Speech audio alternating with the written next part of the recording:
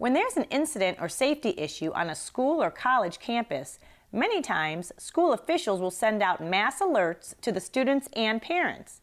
But a local company called IQ On Site has created an app that better opens up the lines of communication between students, faculty, and security.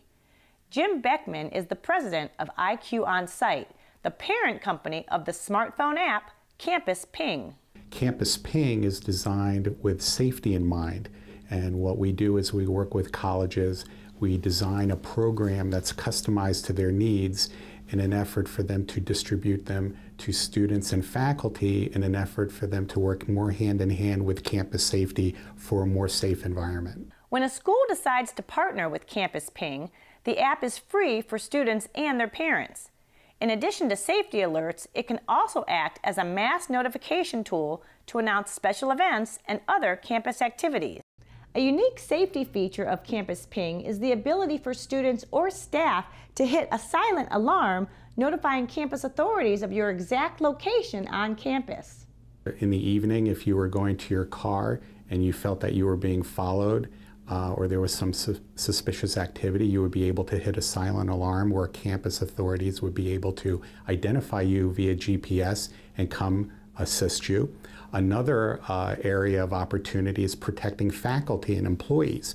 If you're a teacher in a room with 100 students and for some reason there was uh, uh, concern regarding one of the students, you would be able to hit a silent alarm without anyone knowing, and campus safety would be able to come quickly to assist you, uh, preempting any uh, on anything unfortunate happening.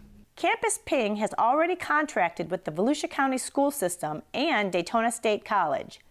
Volusia County Schools have about nine schools piloting the app and are currently not using it for security issues, but as another means of communication for families. The app will be available to Daytona State College students in April for a year long pilot program. While the schools don't pay for the app, companies that want to partner with the schools do.